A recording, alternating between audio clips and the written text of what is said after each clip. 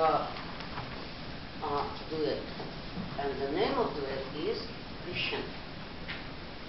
And this year they won the second time. they won honorable mention on the chamber music competition. They will play only one piece. They played more uh, for you today, and uh, it's piece by Russian composer Mussorgsky, Gopak.